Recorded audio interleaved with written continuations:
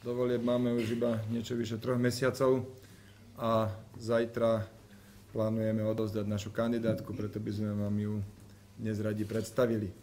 Kandidátka strany Sloboda a Solidarita je kandidátkou expertov. Práve odbornosť bola pri zostavovaní našej kandidátky kľúčovou požiadavkou.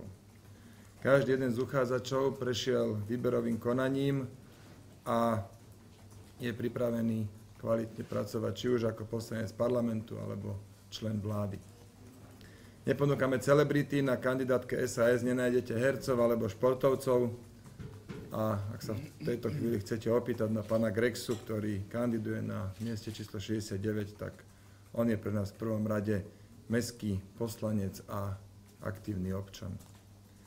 Všetci kandidáti zdieľajú naše hodnoty. Pre nás je mimoriadne dôležité, ako pre čitateľnosť strany v očiach voličov, tak aj pre stabilitu poslaneckého klubu, aby naši kandidáti zdieľali hodnoty.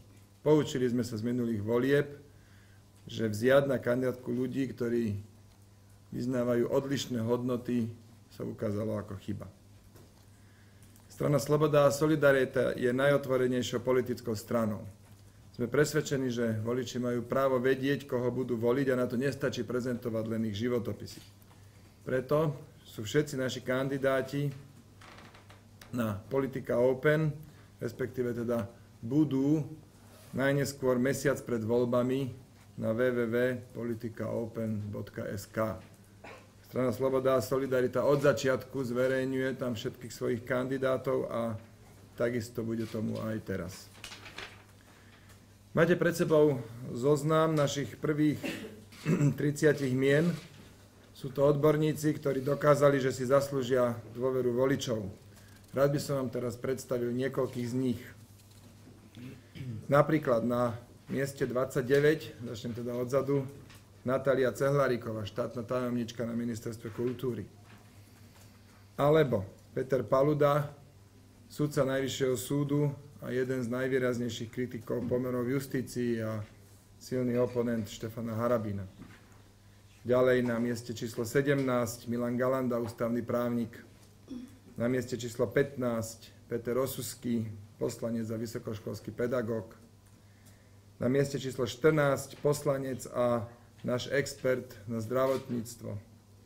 Na mieste číslo 13 Martin Chren, ktorý sa venuje podnikateľským slobodám a tiež poslanec Národnej rady. Potom je Lucia Nicholsonová, štátna tajomnička na, na ministerstve práce, sociálnych vecí a rodiny. Ďalej Kamil Krnáč, poslanec a expert našej strany na boj proti korupcii. Na mieste číslo 9 Martin Poliačik, poslanec a zodpovedný člen strany za prípravu programu. Na mieste číslo 8 Natália Blahová, poslankyňa a expertka na sociálnu politiku. No a prvých 7 miest nebudem menovať, to nás vidíte tu, ako tu sedíme a predpokladám, že nás už aj trochu poznáte.